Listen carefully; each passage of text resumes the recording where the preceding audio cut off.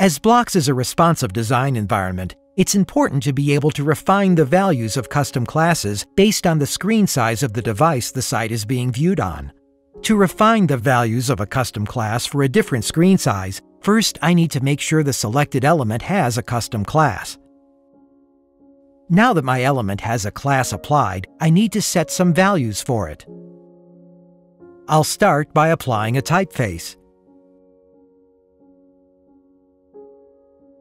Changing the font size, and adjusting the letter spacing. So now that I've finished editing the values for the desktop, I need to close the class editor. It's now time to switch the design canvas to an alternative screen size.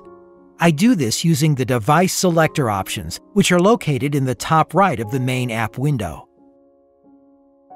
These options will change the width of the design canvas to reflect the width of the target screen size I want to edit my class for.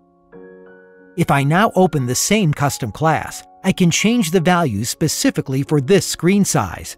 This additional data is stored along with the original desktop styling data, but it will only be applied when the web browser is sized at the current width or smaller. It's important to remember, a single custom class can contain multiple sets of styling information that is applied to an element based on the width of the screen it's currently being viewed on. I can now preview this class by hitting V on my keyboard. If we look at the design on the desktop, and then tablet, we see the text style is changing based on the screen width.